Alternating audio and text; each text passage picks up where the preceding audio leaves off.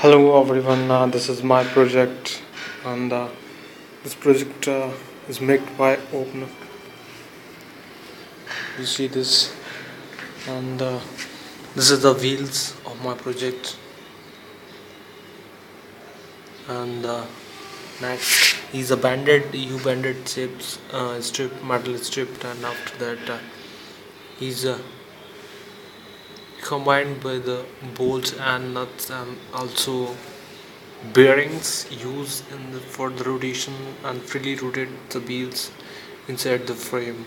And he's uh, over this this is a chain. And this is a chain for rotating all the wheels at a time. Okay this is a frame.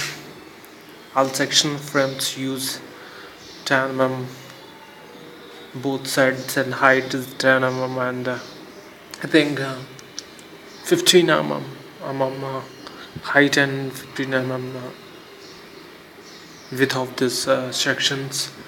And this is the project name is that 360 degree rotated wheels vehicle wheels rotated vehicles and after that normally it is nothing complicated but also it's very simple.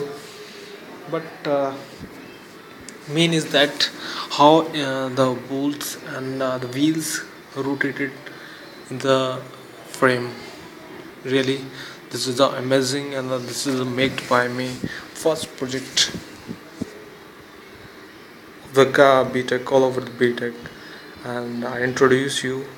I'm student of mechanical engineering from BSACET Mathura. And uh, it is a really amazing project for me and first also this is the first project of me. And you see this all mechanics used in this project. Here finally the steering used for rotating this is uh, it is uh, also very effective for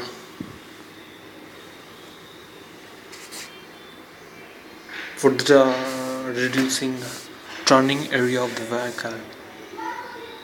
Really see this this is a steering and uh, So brainer. I think you see this. This is a uh, bullet sprocket which is used in the engine uh, of the bullet bike and uh, this is steering has been taken from the Kawadi wale say and then is uh, combined this and make and holding this by the nut is see this? Is use and nut and after that. Totally mechanism use. And this is also be connected by the chains and over this all the vehicles. And this is the front uh, of the uh, my project. And this is a rear back of the my project. So really this is a first project of my life. But not uh, not a